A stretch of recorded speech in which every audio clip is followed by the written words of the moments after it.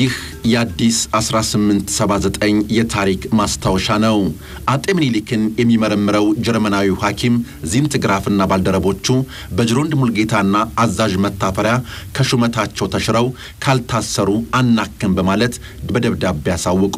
ሁለቱ ሰዎች አጤ ምኒልክን መርዘ ብልተዋቸዋል በማለት ጀርመናውያን መናገር ጀመሩ። የጀርመናዊው ሐኪም አሰራር ግራ ያጋባቸው እቴጌ ጣይቱ አዲስ አበባ ላለው ለጀርመን መንግስት ባለሙሉ ስልጣን ሚኒስትር ተከታዩን ደብዳቤ ጻፉ። እንዲህም አሉ። ይድረስ ከሙሴ ሽለር ሰላም ላንተ ይሁን። ትናንትና እኔ በቃል ነገርኩ።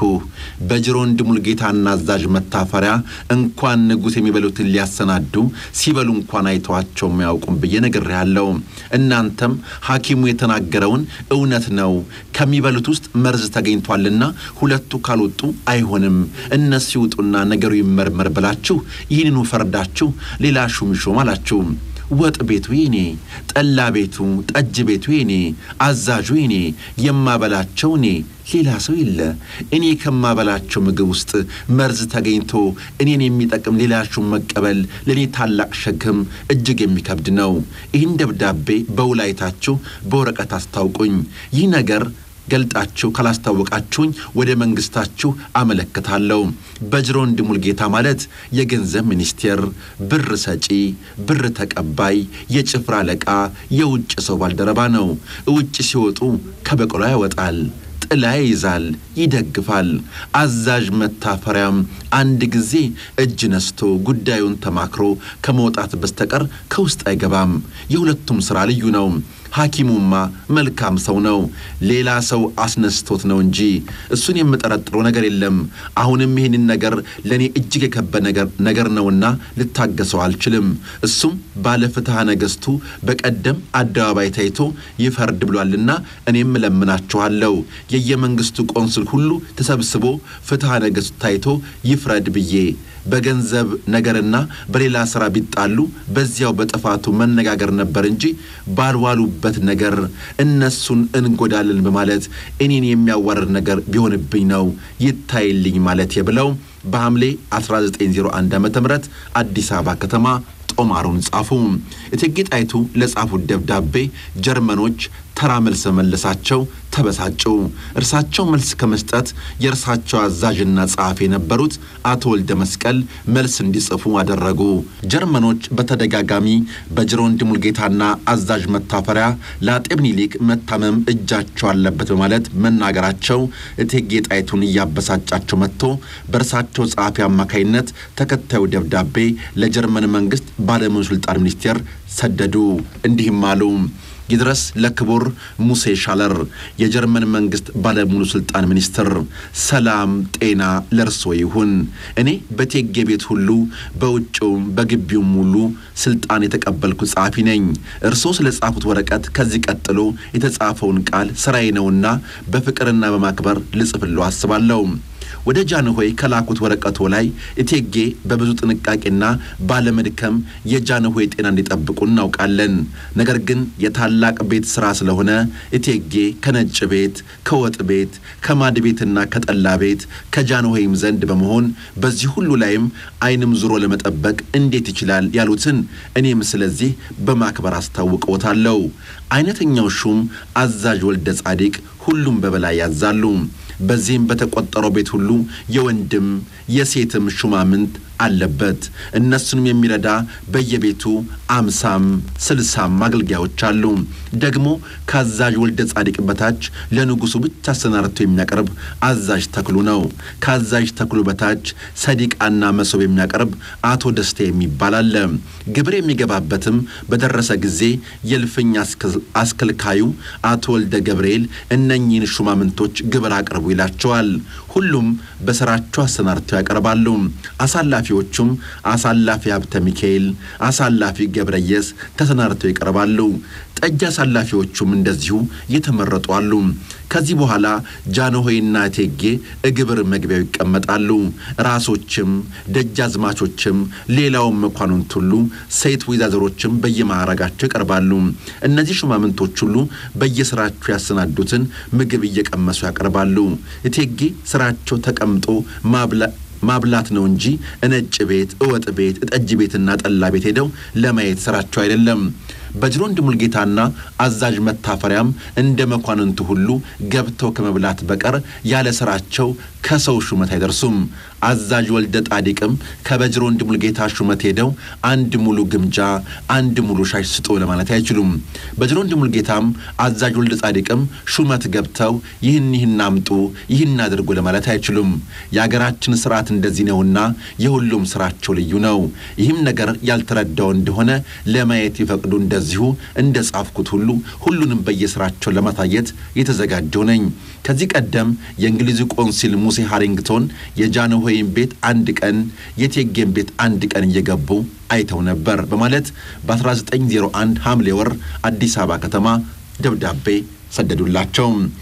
ከዚህም በኋላ ሁለቱ ሰዎች በአጤ ምኒልክ ሕመም ዙሪያ እጃቸውን የሌለበት ቢያሳውቁም ጀርመኖች በዚያው አቋማቸው ጸኑ። እስከ ዛሬም የሁለቱ ሰዎች በሕመም ውስጥ እንዳሉበትና እንደሌሉበት ጥርት ያለ መረጃ አልተገኘም። አጤ ምኒልክ ሕመሙ እየጠናባቸው ሲመጣ በ1901 ዓ ም ጃን ሜዳ ለተሰበሰበው ሕዝብ የኑዛዜ ቃላቸው ተነበበ። ከኑዛዜ ቃላቸው ውስጥ ተከታዩ ይገኝበታል። እንዲህ እናቀርበዋለን። አሁንም ልጆቼ ወዳጆቼ አንዱ በአንዱ ምቀኝነት ይቅር፣ የአንዱን አገር አንዱ እኔ ደርበዋለሁ እንዳትባባሉ። እኔ እስካሁን በፍቅር እንዳኖርኳችሁ እናንተም ተስማምታችሁ በፍቅር እንድትኖሩ ለምናችኋለሁ።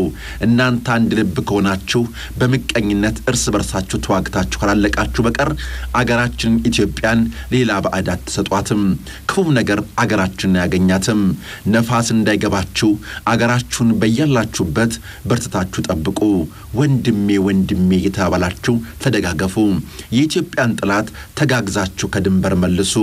የኢትዮጵያ ጠላት በአንድ ወገን ትቶ በአንድ ወገን ቢሄድና ድንበር ቢጋፋ በእኔ ወገን ካልመጣ ምን ቸገረኝ ብላችሁ ዝም አትበሉ።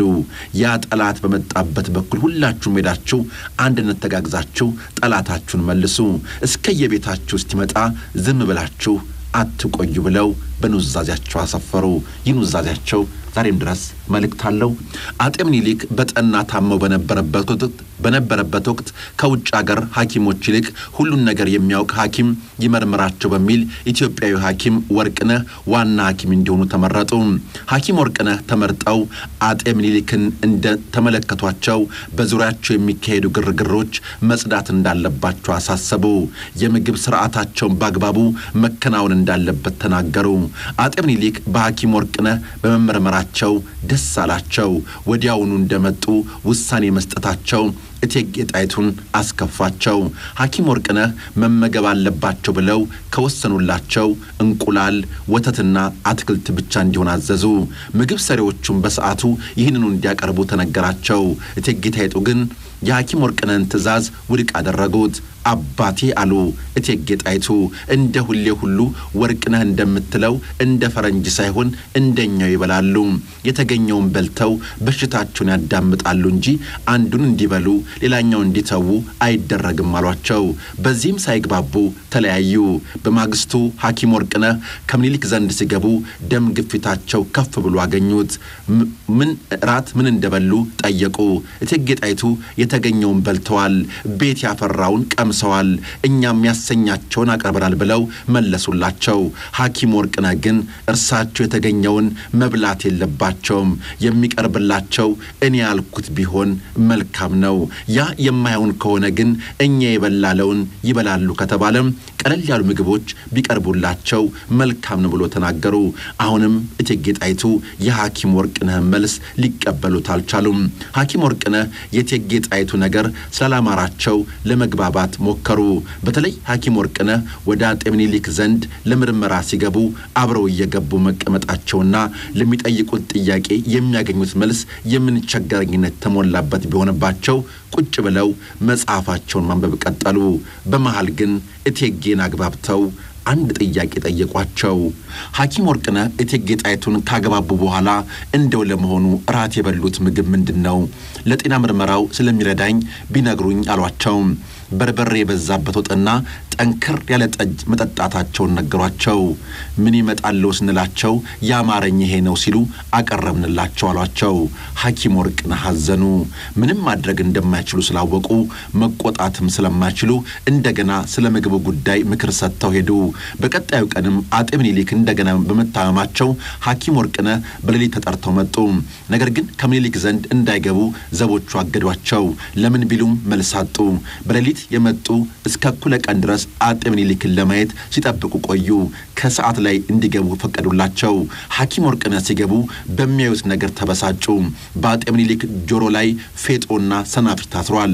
በአናታቸው ላይ ቅቤ ቁጭ ብሏል። የቤቱ ጠረን ተለውጧል። የዚህን ጊዜ ሐኪም ወርቅነህ ለምን ይህ ሁሉ ነገር እንደተደረገላቸው ቆጣ ብለው ጠየቁ።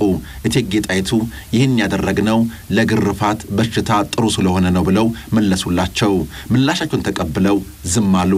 ሐኪም ወርቅነህ አንድ ነገር ማድረግ አለብኝ ማለት ከቤተ መንግስቱ መኝታ ቤት ሆነው አጤ ምኒልክን ሲጠብቁ አደሩ።